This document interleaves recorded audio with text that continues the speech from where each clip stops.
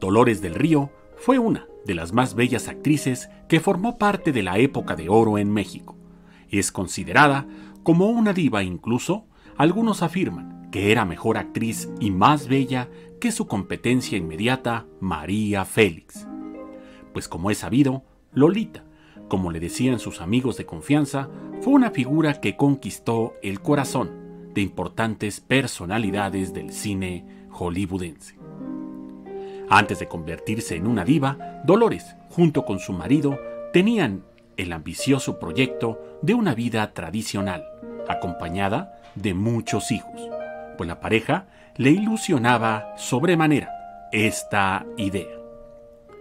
Lamentablemente, circunstancias que relataremos en este video acabaron con la ilusión de ser madre, pues una desgracia financiera, combinada con una médica, la inhabilitan permanentemente para ser mamá.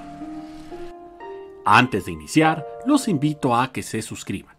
Al finalizar este trabajo, me permití incluir un comercial radiofónico de esta bella época. Espero sea de su agrado. Sin más, comenzamos.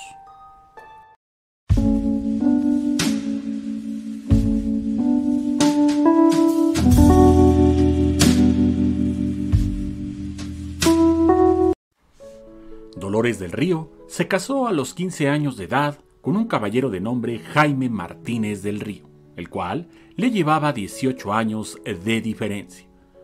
Como es sabido, Dolores formaba parte de una clase social acomodada, igual que su esposo, situación que les permitió irse a una larga luna de miel por Europa. Incluso, Dolores, en ese viaje, les bailó a los reyes de España, pues como es sabido, su ilusión era convertirse en una exitosa bailarina. Ya a su regreso a México, deciden radicarse en Durango. Lamentablemente su marido pierde toda su fortuna, como también así la familia de Dolores, pues las inercias de la revolución llevó al gobierno a expropiar cuentas bancarias y propiedades. Lejos de que esta crisis económica les causara una separación, consolidaron su matrimonio y reafirmaron sus objetivos de procrear hijos. Para poder mitigar un poco su crisis económica, Dolores vendió todas sus joyas. Ya para esos entonces, recibe una buena noticia, pues su médico le informa que estaba embarazada, situación que detonó en una felicidad sin precedentes. Pasaron pocos meses cuando de repente comienza a sentir espasmos muy intensos en el vientre. Acto seguido, asiste al médico el cual la interna de inmediato. El parte médico fue que tuvo un aborto espontáneo. Las finanzas para la pareja comenzaron a empeorar, situación que más adelante los lleva a vender su hacienda en Durango y radicarse de manera modesta en la Ciudad de México. Ahí, Dolores busca oportunidades como bailarín, mientras que su marido trabaja en una importante empresa. Ya para entonces, la pareja decide retomar el objetivo de procrear hijos. Para ello, asistieron a un médico especialista, con el objeto de que le ayudara para tales efectos. Sin embargo, una terrible noticia impactó directamente a la futura estrella, pues el médico le dijo que jamás se iba a poder embarazar, ya que si lo hacía, perdería la vida ella y muy posiblemente su bebé. Definitivamente, esta situación hizo que Dolores cayera en una profunda depresión, situación que detona en una ruptura sentimental con su marido.